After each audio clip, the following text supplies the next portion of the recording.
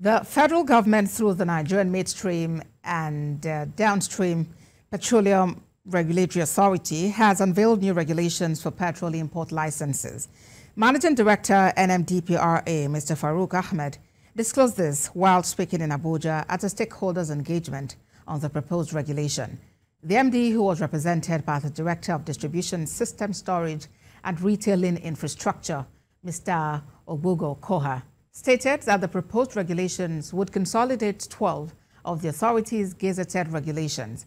It said previous regulations administered by the defunct Department of Petroleum Resources in respect of midstream and downstream operations have been revoked.